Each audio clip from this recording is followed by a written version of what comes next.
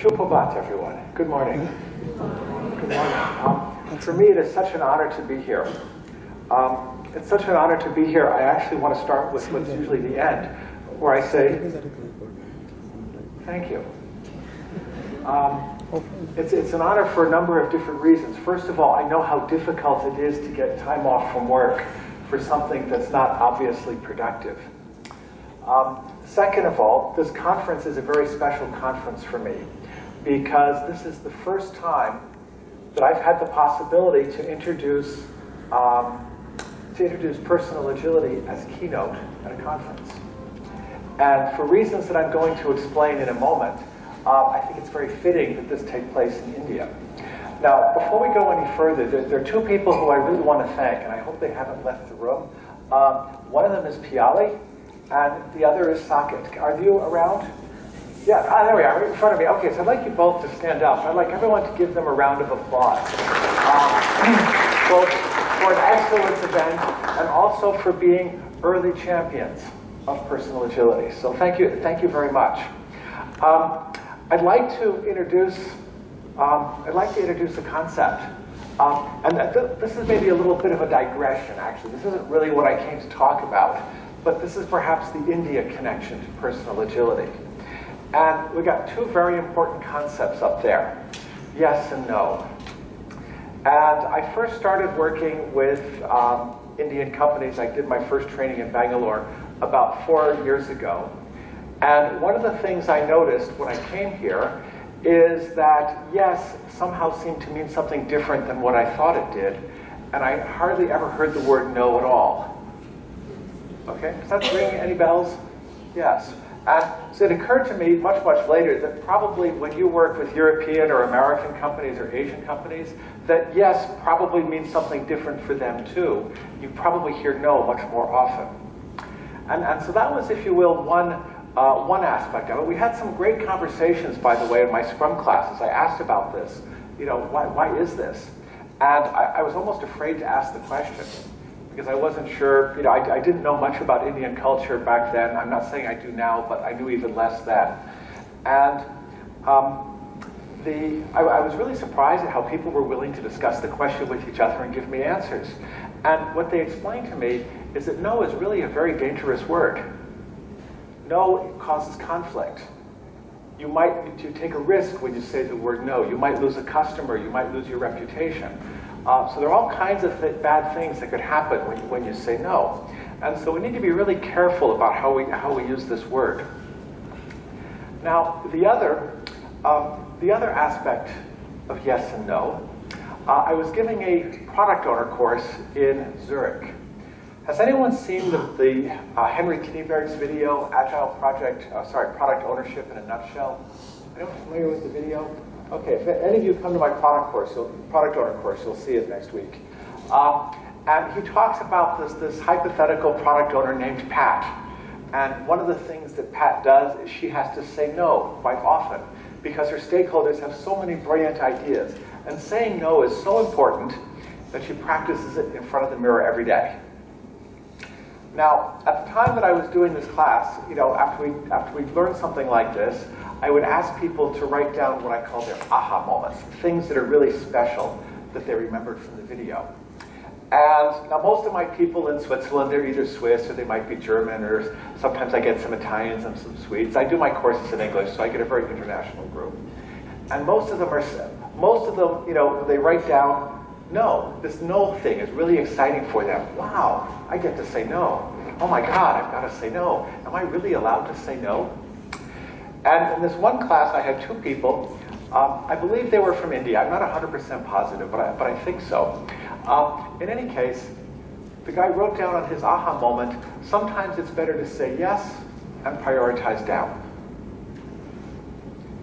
And I looked at this, and I said, wait a minute, did he understand what the video was about?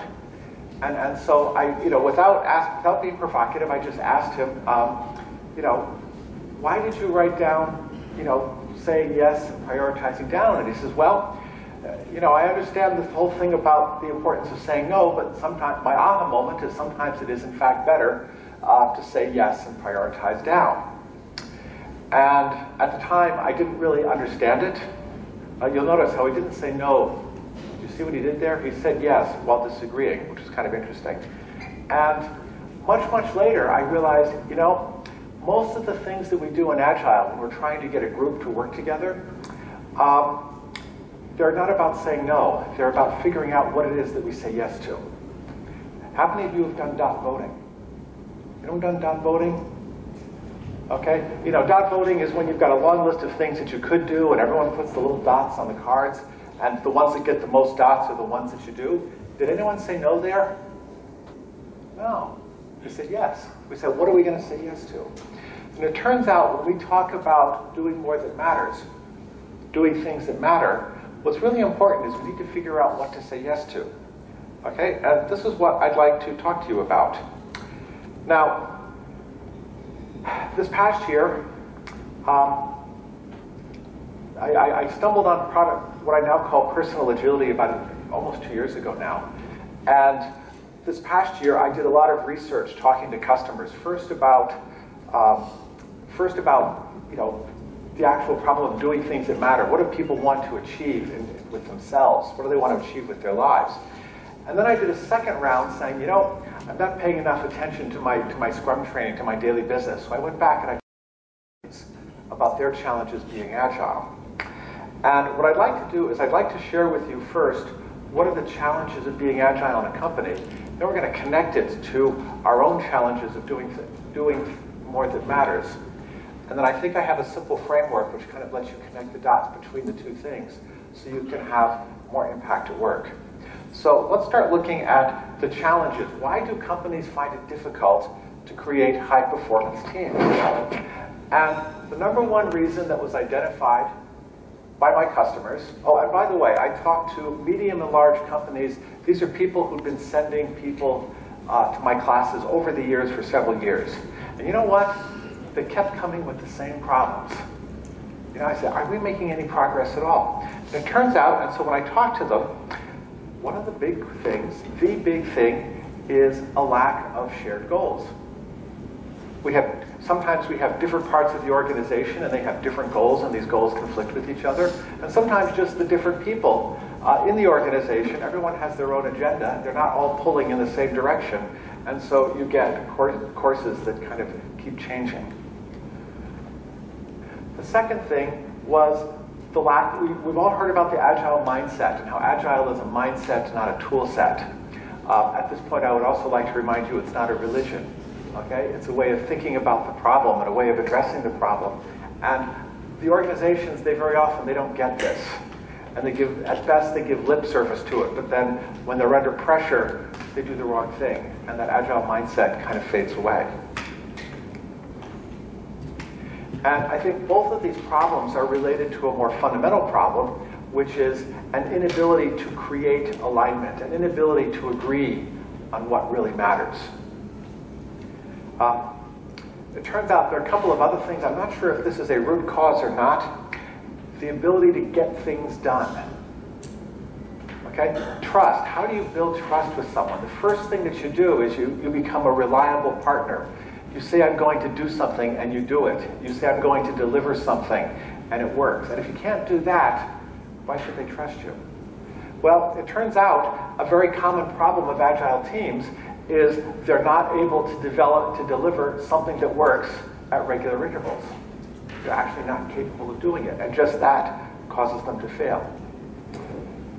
And finally, and this is about the mindset thing again, if we say these first four things are about creating uh, a situation, you know, creating the way we want to do things, the last one is about holding the mindset. Okay? I, I see this over and over. People come into my classes and they leave my classes and they're really excited about changing, transforming their life situation and their work situation for the better. And then they go off and they hit the real world, and the real world hasn't changed yet. And like sand in the gears, after a couple weeks, they're kind of back to where they were before. So how do we, if we have this new mindset, how do we hold the mindset? So I came up with a picture to kind of describe um, what it is that we need to accomplish when we're trying to do an agile transition. Okay, and You know, so here you see this concept of the ability to get things done, the, the capability, just the basic capability of getting things done. We talk about the need to be able to prioritize, to get the right things done. Now, it turns out this is, if you will, at the team level, but we've got another thing going on at the leadership level. Um, you, every project actually has two projects. One is the thing that you're trying to create. Okay, you're trying to build something. But the other thing is the organization that produces the team. So every project is producing two products. Product that you're going to sell or deliver to your customers, and the organization that creates the product. And this is the job of your leadership. Okay? The mindset is the organization that creates the solution. Okay? And figuring out what is the right thing. This is what product ownership is about. But this is also what I mean about creating alignment. Creating alignment between what you're doing and what your customers want to have. That when you produce something, they say, yep, this is what I want. And they're happy and they smile. Okay? Now, you'll see that we've got a foundation of trust. Um, if this talk were about agile transitions, I, talk about how we go from command and control to trust, transparency, and frequent interaction. And that's what this is about.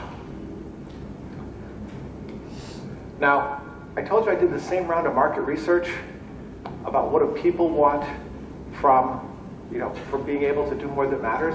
And it turns out it's almost exactly the same thing. Okay? We're trying to achieve some sort of goal. The way I, I, I found it was phrased most succinctly is having an impact. That, that, that, my actions actually mean something and that they do something. Um, the same basic skills are there. You need to be able to get stuff done. You need to be able to get the right things done. And you need to create alignment between what you're doing and what the people around you need. Okay? So what I'd like to do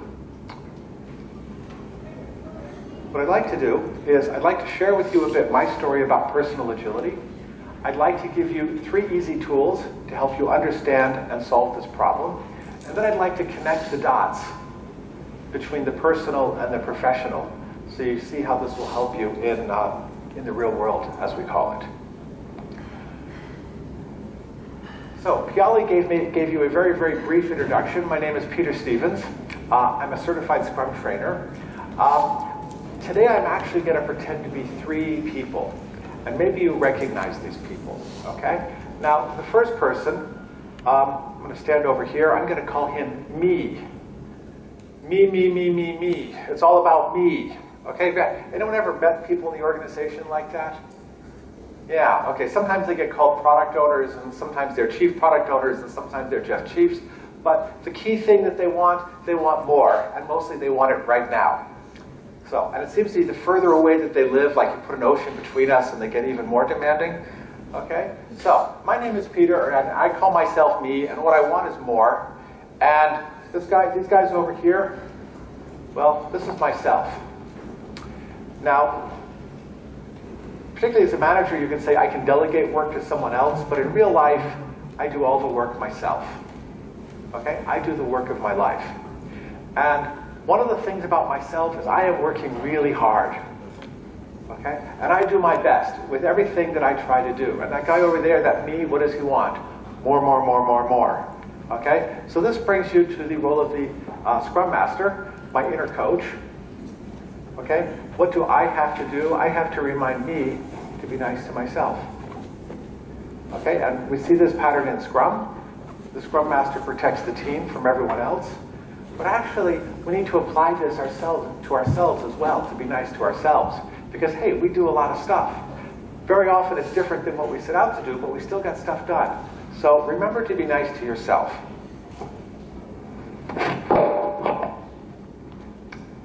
Now, remember me is work me is asking for more, and myself is saying, I'm doing the best I can. I, I need some time to eat and to sleep.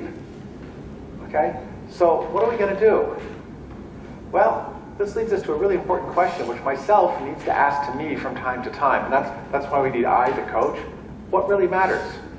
Of all the things I could do, which ones are really going to make a difference if I do them? And which ones are not going to make a difference if I don't do them? So this quest for figuring out what really matters, getting things done, this was the inspiration for my book. Uh, I started out with the idea, well, I didn't start out with the idea of writing a book. I started out with the idea of making my own life a little bit better. Uh, having the feeling that um, I'm not just running in place and treading water. I mean, I'm one of those people. Do you know the difference between an employee and an entrepreneur? Um, an employee would rather work 40 hours a week. An entrepreneur would rather work 80 hours a week for himself than 40 hours a week for someone else. Okay, and I'm definitely the entrepreneur side. I, I, I tend to work too hard.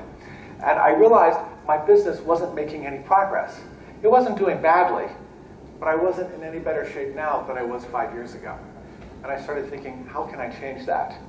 And that led me onto a long path. Um, one of the more, one of the first and most interesting stops was when I met Maria Matarelli in Portugal about a year and a half ago. Does anyone know Maria? Anyone take her to Agile Marketing class? Yeah, she was one of the first Scrum trainers to latch onto it. And we eventually decided to write the book together. Um, how to do more that matters. So maybe you'll recognize a couple of these patterns. Okay? These patterns came from my interviews with people around the world. The westernmost person lived in Vancouver. The easternmost person lived in Saigon, or Ho Chi Minh City as they now call it. And actually, I believe this story comes out of India. I have three bosses. All of them have lots of work for me to do, but none of them can tell me what to do next. So I can easily spend the whole day just talking with people, figuring out what I should be doing. Anyone recognize this pattern? You don't have this pattern? No? A little bit? Okay. How many of you have more than one customer? How many of you have more than one project? Okay, how do you figure out which project you should be working on right now? That's, that's what this problem is about. Okay, how many of you just have too much to do? This was my case. No matter how, no matter how far I worked on that stack of papers, it kept growing. And not only that, the faster I could work down the papers, the faster the papers grew. Okay? And now we're back to yes and no. Okay? Yes and no is a scary thing. Now, I, got, I have a small, I, I have some bad news. That problem of yes and no doesn't go away. Okay? It's not really a question of whether you're going to say no. And here's why. Okay? Every one of us, given a week, a fixed amount of time, we have a certain amount of capacity, a certain amount of energy, a certain amount of ability to work. Now, some of us like to do things like eat and sleep, you know, and maybe take some time off from work for, for our own things. Now, I understand people here work pretty hard, but do people here like to eat and sleep? Does anyone not, you know, anyone skip the eating and sleeping part? None of you eat and sleep. Okay, well, maybe I should run. Maybe I should leave the arrow like this. Although the funny thing is, leaving the arrow like this doesn't change the problem. Because what happens is, no matter how much you can do, that me, remember me, me can always ask for more. Okay? Now, some of the things that we do, some of the things that we do are things that, that we say they matter. They mean something to us for whatever reason. Okay? Let's not ask the question what matters just yet. We'll come to that later. But they mean something. And other stuff, well,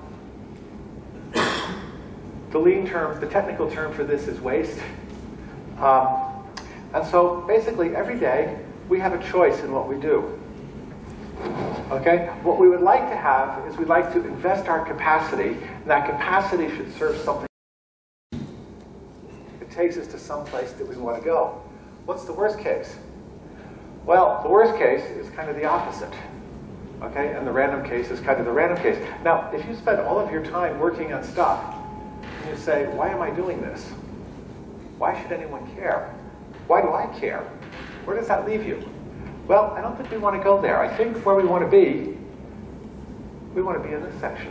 So what I'd like to do is I'd like to give you a couple of tools to increase the possibility that the stuff that you do is going to matter, especially to you. Okay, start with yourself. Remember what I have to do? I have to be nice to myself. So if someone has to be convinced that my work, my work matters, it's me. It's my inner, my own self. So the first tool is to understand the challenge. What is it that we're trying to accomplish? I'd like to give you a simple framework for asking the right questions and an information radiator, at least one. We might have some more, but a minimum of one to help you understand the answers to your questions. So let's start with understanding the challenge. Now remember those three guys I told you about, me, myself, and I? Okay? Well, one of them does the work. Okay? And that's important. We've got to be able to get stuff done. What me does is also important. Me sets priorities. Okay? Now what's the role of the coach? Well, you need to, if, if you want to do stuff that matters, you need to ask yourself questions. One question is, am I doing, doing the right thing according to my priorities? And the other question is, have I set the right priorities? Okay? So you're challenging yourself or questioning yourself. Okay? And since there's just you in your life, we've got these three virtual people all crammed into one person, me, myself, and I, doing the work, setting priorities, questioning yourself. Okay? The, these are the basic skills to getting the right things done. Now, so if we have these basic skills, now let's come back to the simple framework. Okay? Personal agility basically consists of six questions to ask yourself and one recurring event. Something to do at least once a week. Sometimes you might skip it. It's not the end of the world. You might do a lightweight version once a day, depending on how focused you want to be. But basically, there's, there's, one, uh, there's one event. Okay, so we start with the first question. First question is, what really matters? Now, the hard thing about this question is it's not at all the easiest one to answer, and especially when you're just starting out, you might not know the answer to this question. Um, the first person who talked to me about what I now call what really matters, she called it true north. What's your navigation star? What do you orient yourself around? And she told me about this. I thought, you know, this is really cool. She said everything she does is oriented to something, you know, oriented around true north. The three things that are most important in her life. And I had absolutely no idea what was my true north.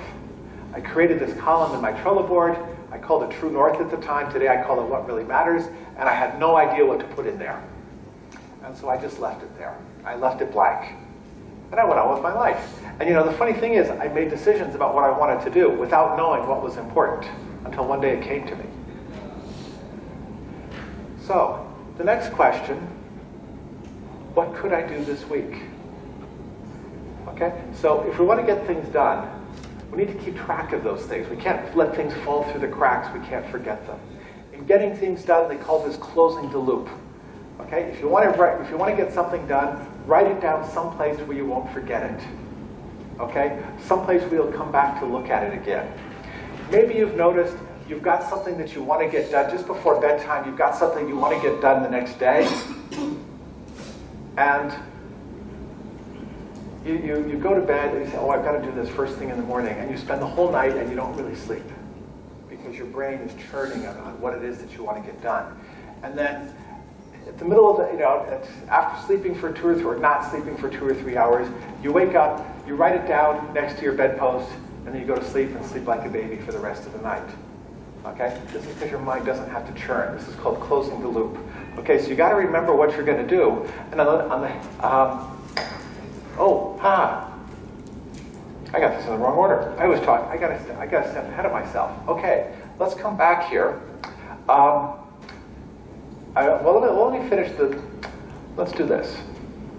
So we talk about the "What could I do?" question. Um, so you got this long list of things that you could do. Now remember we said you've got more things to do than you have time to do them? So now we need to do a triage of all the things that I could do which of them are important? Why are they important? Well, because they serve something that matters. Some of the things that I could do are urgent. Why are they urgent? Well, you know, if I don't pay my phone bill by the end of the month, my phone might get turned off. So if, I, if it's urgent and I don't do it, a bad thing might happen. Okay?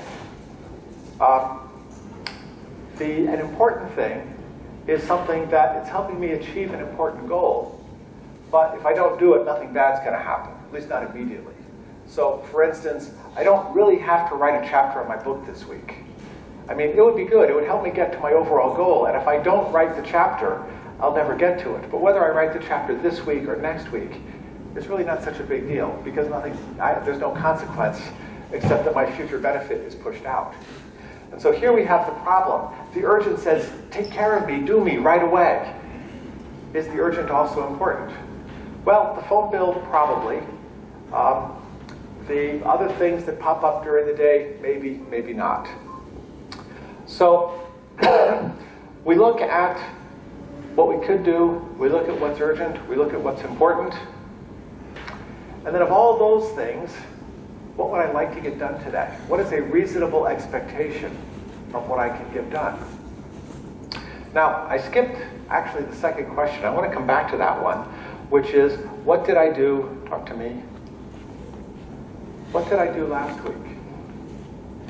Now, those, how many of you do Scrum or Kanban? How many of you are doing Scrum? Anyone doing Scrum? Okay. Yeah, so you know, when I talk about yesterday's weather and I talk about velocity, knowing what we got done in the last sprint gives us a hint as to what we can do in the, in the next sprint. Okay, well, in your life it's the same thing. First of all, knowing that you got something done, this is a reason to pat yourself on the back and say, good job. Okay. Now, some of you are going to say, but, but, but, what I set out to do isn't what I plan to do. That's life. Life is what happens to you while you're planning to do something else. I planned to fly in on Tuesday morning so I would have a day to, uh, a day to recover and, and be free of jet lag. Unfortunately, something got in the way that I couldn't prevent, and I came here this morning. Okay, got it at 5 in the morning. Did I want to do that? No. But on the other hand, I did make it to Bangalore. So it's not about being perfectly on schedule, it's about arriving. Okay? And so wherever you arrived, pat yourself on the back. Now, if that's not exactly where you want it to be, when you want it to be there, well, think of yourself as like a, a ship on the ocean. You've drifted a little bit off course. What do you need to do? You need to get back on course. And that's what, that's, so this is recognizing where you went.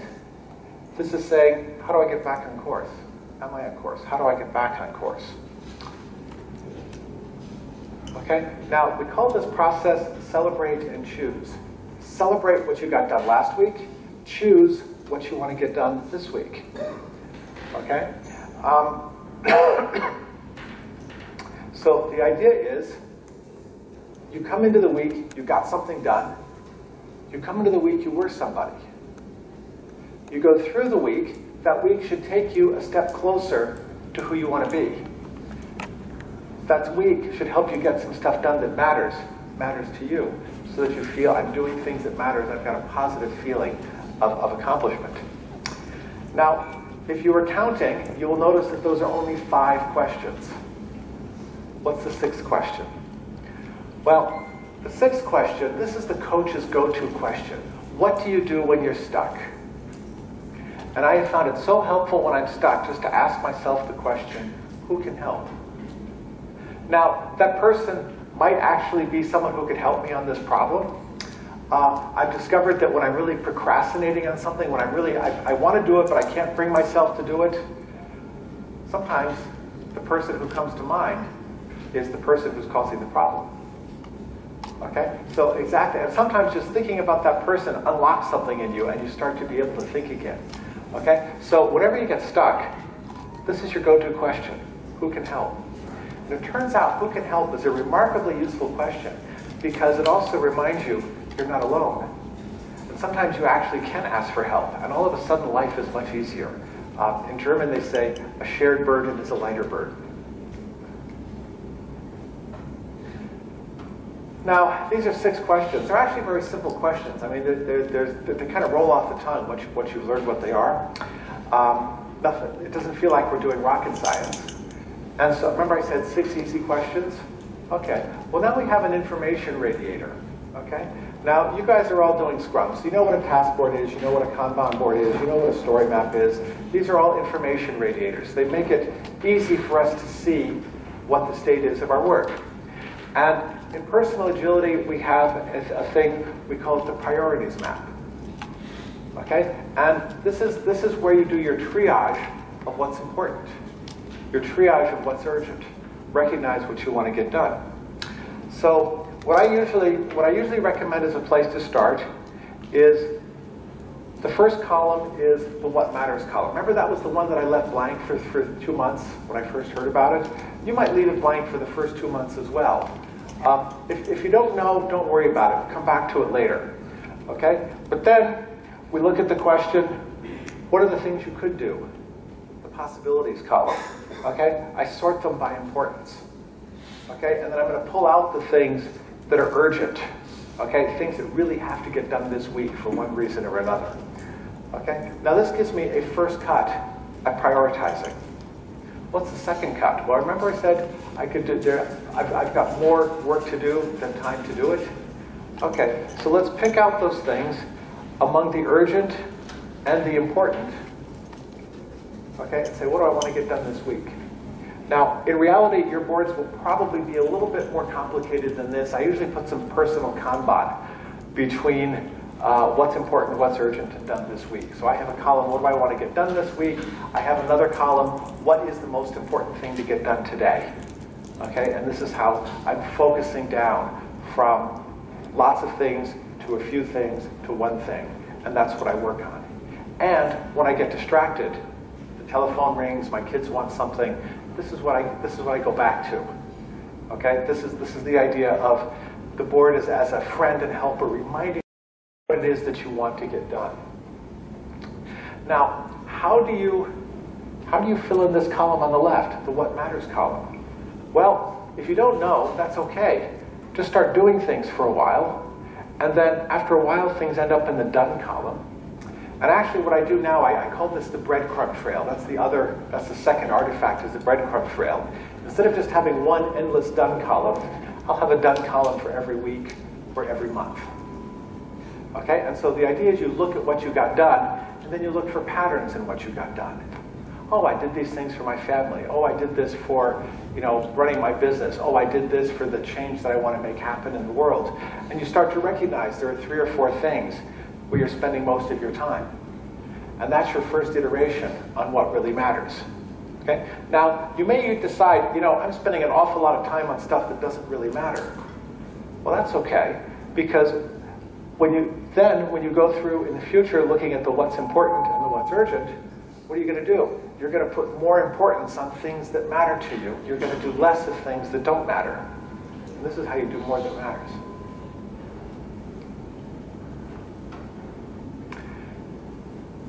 Now, I started, um, I started doing this, I, I guess I started with my first experiments around, what was it, March of 2016. And I did a lot of experimenting and eventually had something that I was willing to share by uh, June or July. And this gentleman here, his name is Hardy Glidnowski, and at the time he was leader of human, human-centered design for a well-known Swiss communications company. And I told him about this, and he says, oh, that's interesting. And I didn't hear from him for six months. Until one day, I got a three-word email, okay, which is quoted here at the top. And this is when I started, uh, this is also about the time that I met up with um, uh, Maria, and this is when we started developing personal agility further. So this is how you can do more that matters. Okay, triage what you could do, sort it by what's important, pick out the things that are urgent, pick a subset of what you need to work on, and what you want to work on this week. When you get blown off course, set a course back to your destination how do we connect this to the situation at work? And so I want to uh, introduce a concept which builds on personal agility, which I call leadership agility. And Steve Denning, uh, you may remember Steve Denning, he was the author of the Radical Management book. Uh, he's now working on his latest book, The Age of Agile. And one of the things that he identified is that a very consistent pattern of agility is taking a big problem and making it into a little problem. He calls this descaling. The solution to our problems is not taking little solutions and making them into big solutions. It's taking big problems and making them into little problems. And I realized that personal agility takes the problem of creating alignment and descales it. Instead of trying to create alignment in a whole organization, we create alignment between two people. Now, this alignment problem, this is a huge problem. I, I, I stumbled across an article, I think it was from HBR, a Harvard Business Review, and it said that if you take, if you ask the top 20 people in an organization what are the five most important things they want to accomplish, or the organization needs to accomplish this year, you'll get at least 120 different answers. Okay? What's wrong with this picture? They don't have alignment. Now, when I went to create this presentation, I went looking for that article and I couldn't find it. You've heard I, I couldn't see the forest because of all the trees. There were so many articles about this problem, and this is, a, this is another one. Uh, a third of the organizations don't have an agreed upon strategy, but even in the two thirds that do, only one 14% actually know what it is. Okay? There is no alignment in the organization. This is the holy grail of how you make an organization move forward. Now, I have a very simple thesis. Okay? How many of you are familiar with Simon Sinek? Start with why. Okay? Well, I would, I would propose that if two people, if two people agree on what really matters, then we can say that they're aligned. Because if we agree on what really matters, the decisions that we take are going to be pulling in the same direction. Yes, we need to sync up from time to time. Okay, we need to make sure that we're still in alignment, but we're basically, we know where we're going, and that, that enables us to, to move forward together.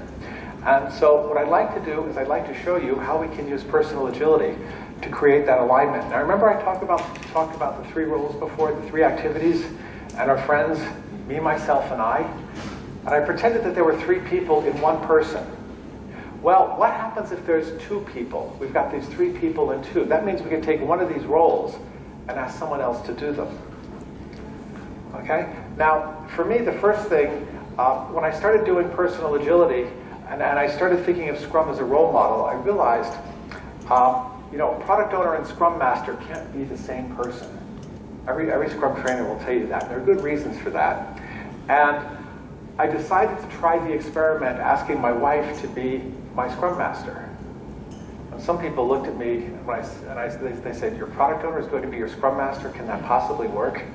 And, and there were some challenges involved, but, but after, after a bump or two at the start, it was like, wow, we're getting things done. After eight weeks, she said, I feel like we've become a team. And we've been doing it now for about a year and a half, still with a smile, and we still really miss it when we don't do it. Okay? So the, the first way to create alignment is I'll call this a peer-to-peer -peer alignment, is let someone else be your personal coach. We call it the celebration master. Now, what if you don't set your own priorities? Well, you could designate that product owner role. How would you do that? Well, how many of you have a regular one-on-one -on -one meeting with your manager? You don't have a one-on-one? -on -one? Okay, yeah, most of us do. So, Mr. Manager or Ms. Manager, I'd like to talk to you about what really matters to our department this quarter and make sure that my work is, is in, in alignment. So, what are our top priorities? And so basically, you can ask, you don't even have to tell your manager what you're doing. You can turn your manager into your personal product owner just by asking the right questions. We call this managing your manager, or better still, coaching your manager. Okay? Now, what's interesting about this is unlike, say, Scrum or Kanban, which require a certain amount of agreement to the organization in order for you to do it, this you can just decide by yourself to do it. You don't need to ask anyone's permission, except to say, I'd like to ask you a few questions. Okay? So if you are, you know, if you are here, you could ask a colleague to help you. If, you know, you're working for a manager, you can ask your manager, you know, the questions. Um, and so basically what we can do is we can, leadership agility is basically using this one-on-one, -on -one, synchronizing with each other, and applying that up and down the organization. Up and down and left and right. Now, I've been talking a lot, I've been sharing my experiences, but on the other hand, I come from far away. Why should you believe me? And I did a lot of the, the validation for the personal agility course here in India, and, and I discovered some people in India are actually ask very, very critical questions. And so as Maria and I were writing the book, we realized what we really need are case studies. And on the other hand, we discovered people want recognition for the skills that they've developed. And so we decided to offer a recognition uh, on personal agility uh, for actual practitioners, people who are actually doing it. Now, unlike certification where you have to take a test, what we do is a coaching call. So we talk to you, and Maria, Maria has actually done the first coaching calls um, with a total of 10 people, talking to them about, you know, these are people who've taken my course, most of them. Some of them just read the book or read the guide. Uh, um, Rene, um, he saw a presentation much like this one and said, this is cool uh, told his manager about it, says, this is just what you need. The manager said, I don't have time for that. Why don't you try it out? Okay? And he went off and did it himself. And he works, by the way, he's, he's the um, uh, he's team lead for the Agile Transition team in a uh, fairly large Swiss bank based in Zurich. And he now has an internal blog about personal agility, and his manager is now doing it. Um, you'll notice in the lower left-hand corner, Piali, uh, there's Piali. Piali's there holding the stopwatch for me, but she was also the first person to be recognized as a practitioner. Now, I'm not going to put any words into her mouth, but I'd like you to take the opportunity today to ask her about her experience with it. Um, in each of these cases, George, uh, this was the guy from Vancouver. He's originally from the Philippines, moved to Vancouver, is now a best-selling author on personal development. Okay, each one of these people has their story about how personal agility has, has helped them. And I'm just going to share a couple of the things that we want to put into the book. Absolute top list of benefits from personal agility, beating procrastination. Okay? Now, there's a whole long list. Feeling better about yourself, understanding what really matters. I'm not going to say them all. I'm just going to let you read them as we click through them. Um, this was a very, very common one. Actually, I'm, I'm, not sure if number seven is correct. A lot of people are saying they're much happier, feeling much more secure in their relations at home. They feel like they're more like a team. Fewer emergencies, fewer things. Uh, there was one person, he said, in my first week of doing personal agility, his name was Pino de Candia, he had 14 items in his urgent column. The second week he had 10, and then the third week he had it down to four. Just getting your life under control. Okay, so how can you do more that matters? It's real simple. Once a week, sit down with yourself, maybe ask a friend or your spouse or someone at work to ask the questions to you. Ask yourself the questions, the six questions of personal agility.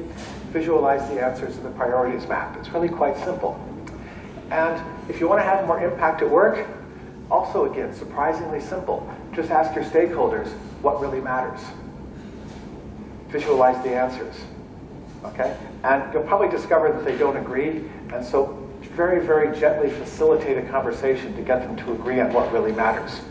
And I think the best way to do that is to share the personal agility concept with them and help the people around you who are trying to do it. So I'll be leading a workshop on this on Tuesday. I'm not going to say too many words because I think the time is kind of up. Uh, the morning is going to be about personal agility, how to get things done. The afternoon is going to be leadership agility. How do you coach people? How do you build that alignment with your stakeholders? Um, how do you make sure that what you're doing is in alignment with what your stakeholders really want? Um, in the meantime, LinkedIn and Twitter, I'm very happy to connect. Please don't connect with me on Facebook. I don't really do Facebook. Um, we have uh, at mypersonalagility.org, we have an early readers club. You can join it for free. Uh, I'm expecting to start seeing chapters really quite soon. Um, probably early January, we'll have an um, update on the first chapter and then be cranking out chapters fairly quickly. Um, there is a guide to personal agility which tells you in 16 pages how to do it, which you can download for free from the personal agility site. You can join our early readers club. And so with that, I'm back to those words. Thank you very much. It has been an honor.